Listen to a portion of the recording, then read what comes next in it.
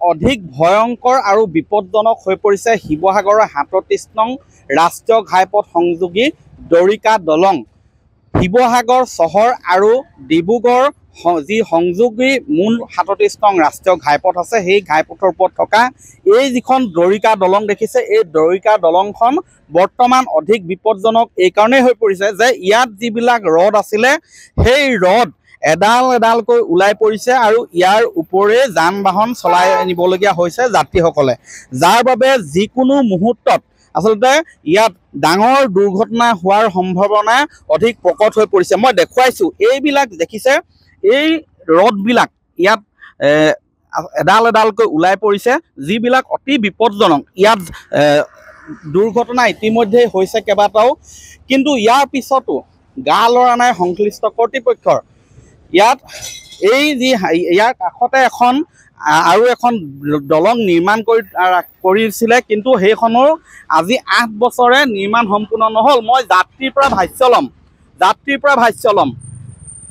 এই দলংখনেদি সদায় অহা যোৱা কৰি আছা তোমালোকে? হয় হয় দাদা। কি দেখিছা এতিয়া?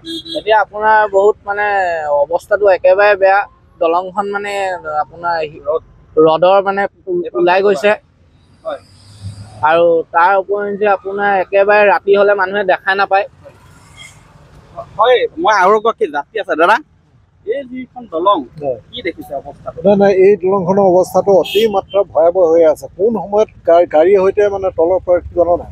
আৰু এটা কথা এই আগত চাওক আপুনি তাত মানে এটা হেৰি হৈ আছে আৰু তলত কি অৱস্থা আছে খহি গৈ সোমাই যাব মানে এনেকুৱা অৱস্থা হৈছে বুজিছা নাই?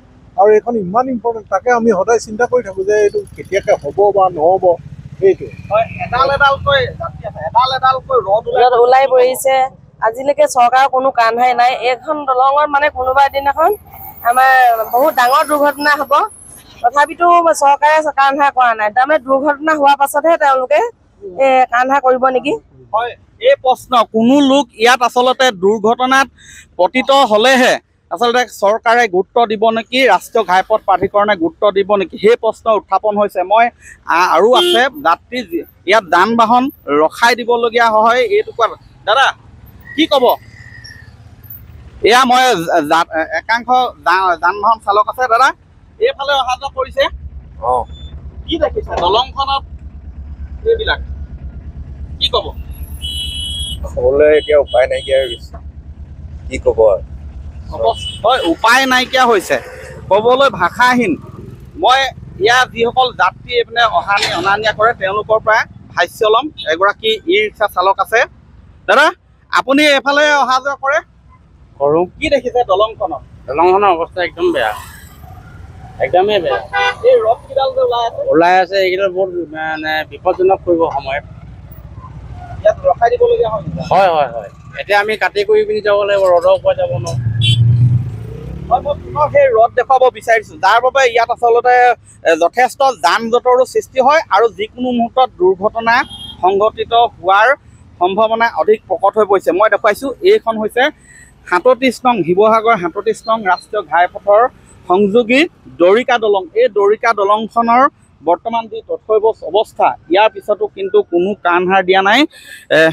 সংশ্লিষ্ট বিভাগে সাতত্ৰিছ নং ৰাষ্ট্ৰীয় ঘাইপথ এই ঘাইপথটো চাৰিলেনযুক্ত পথলৈ উন্নীতকৰণৰ কামো চলি আছিলে কিন্তু আধাতে কাম বন্ধ হৈ আছে। সেয়াটো বাদেই বৰ্তমান সাধাৰণভাৱে অহা যোৱা কৰা মূল যিখন দলং সেই দলংখনৰ অৱস্থা তথৈবচ। কেতিয়া গা লৰিব ৰাষ্ট্ৰীয় ঘাইপথ আন্তঃগাঁথনি উন্নয়ন প্ৰাধিকৰণৰ এই প্ৰশ্ন বৰ্তমান সৰ্বসাধাৰণ নাগৰিকৰ। আপুনি বিচৰা বাতৰি পাব কেৱল নিউজ এইটিন এপত। নিউজ এইটিন এপ ডাউনলোড কৰিবলৈ স্কেন কৰক এই Q R code. Google Play ষ্টৰতো পাব এই নিউজ এইটিন এপ